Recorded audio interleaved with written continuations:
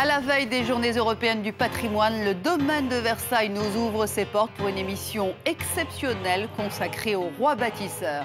Vous assisterez à la renaissance d'un chef-d'œuvre du XVIIe siècle, le plafond de la salle des gardes de la reine. Vous aurez également le privilège de pénétrer dans la petite écurie où sont restaurées les plus belles statues de marbre d'être à ce moment-là, à cet endroit. C'est une page d'histoire de l'établissement. Notre émission nous conduira ensuite en Égypte où des archéologues français continuent à percer les secrets des pharaons grâce aux nouvelles technologies. Déraciner des ailes au cœur de Versailles, une soirée événement, mercredi 20h55 sur France 3.